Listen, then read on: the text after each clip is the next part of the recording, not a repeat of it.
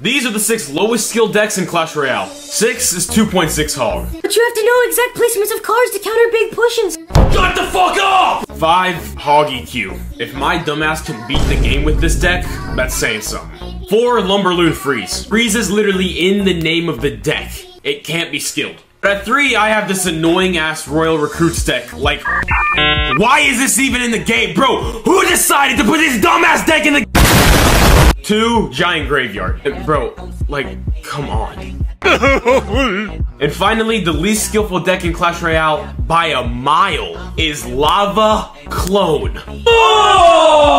And words cannot express how much I hate this deck, so I'm just gonna show you this clip. Bro, stop. Bro, if this guy's a clone, I swear to God. Bro! What? Dude!